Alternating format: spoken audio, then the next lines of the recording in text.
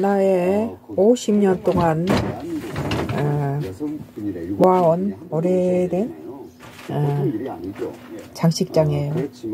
어, 자주 우리 정서에 어, 맞게 예, 우리 기술로 새로운 음식 경험을 하거나 손님 초대하거나 명절 때면은 자주 나와서 어, 가족들 식탁을 어, 화려하게 장식하기도 하죠.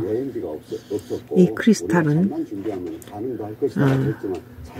굉장히 오래된 거예요. 이것도 4, 50년 된 건데 아마 순천신구가 28만 명이 되면 981만 명이 어, 다 깨지고 이제는 한 잔 하나 남았네요.